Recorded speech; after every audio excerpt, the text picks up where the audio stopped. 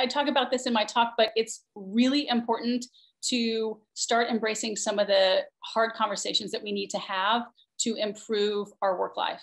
And that means negotiating for the pay raise, um, negotiating for a more flexible schedule, uh, reaching out to a woman that you look up to and you know asking her if she'll mentor you.